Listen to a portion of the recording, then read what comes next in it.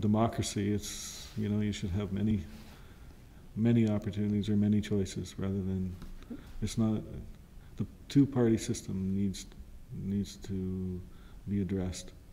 And that can be addressed by the voter turnout, you know? And, and for them to get engaged and really, really study the issues, really study the candidates, you know, who's really out to represent their interest.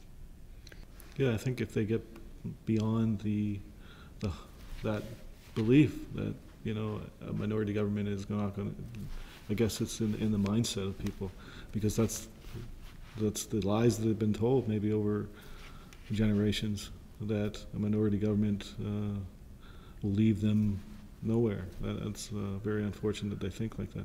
I think if they realize that it's really about having a representative who's going to speak up. I mean, as a representative, I'm still going to have the opportunity to speak up. I'm still going to have the opportunity to approach other members to uh, draft bills, or even the the clerks to draft bills, and to have the opportunity to speak with other members as far as getting those bills to the floor and voted on.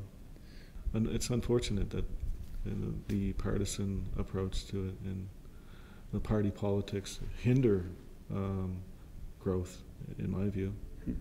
I think it's a beautiful, beautiful province, and I think we're at a point in history where we have great opportunity. It's about, like I said before, it's about about the will.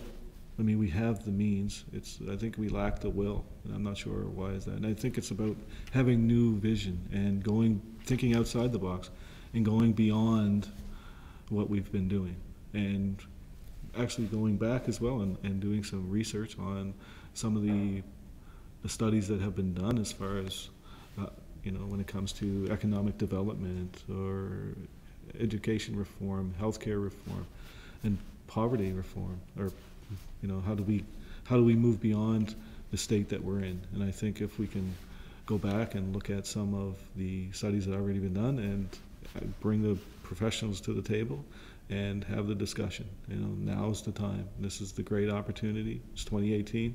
Let's do this.